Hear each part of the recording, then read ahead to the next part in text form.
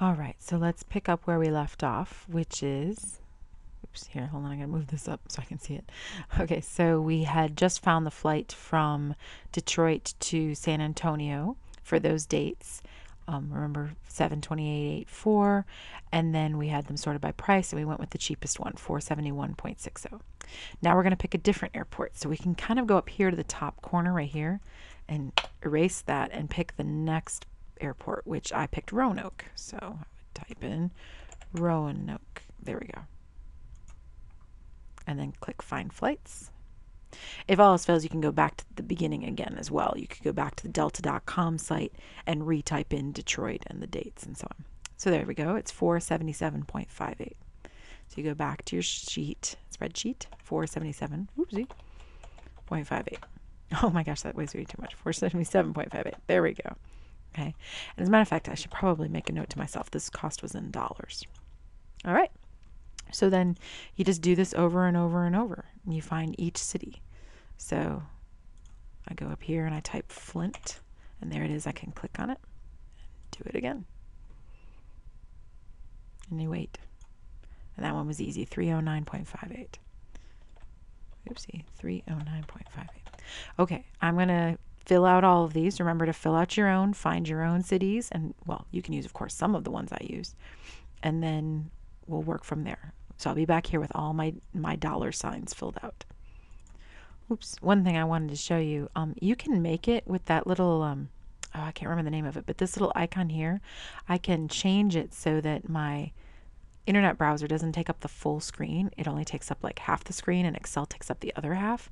And that way it makes it quicker for me to flip back and forth. It's just a little trick. So for example, I can go over here and type Bangor. There we go. Bangor find flights. And then I don't have to bring keep bringing up Excel and making it go away and such. Just a little tip. All right, I'll see you back here with all the numbers filled in. All right, now all my dollar amounts are in. So I think it's time to save this, don't you? All right, so we don't want to let any of this go astray. So I'm going to click File, go to Save As, And I'm going to save it someplace I really know where it is, like, you know, my Math 033 folder, or um, if you do it on the desktop, that's fine, but you, um, if you're on a school computer, you want to make sure you email it to yourself or something.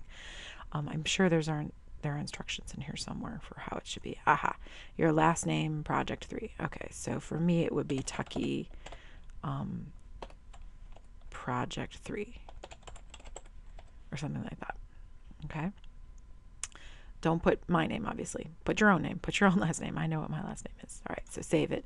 And again, if you use a school computer, make sure you not only put it on a jump drive, but you email it to yourself. Emailing it to yourself is a really good move.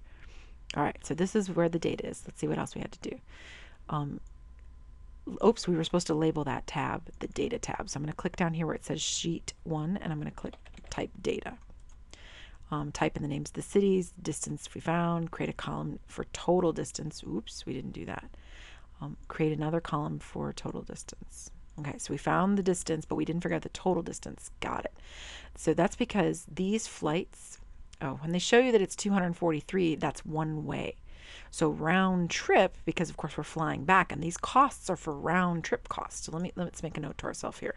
Round trip cost is that much.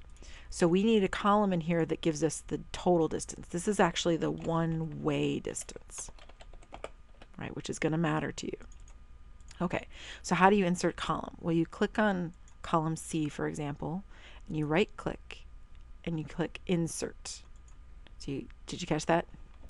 I clicked up and C right here. I made a double down arrow. So see how it turns into a downward arrow. Right click, insert.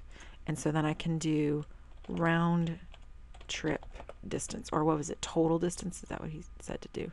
Total distance. Okay, so I'll do that. Total distance.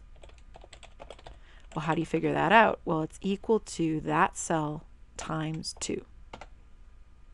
And then drag that down the column.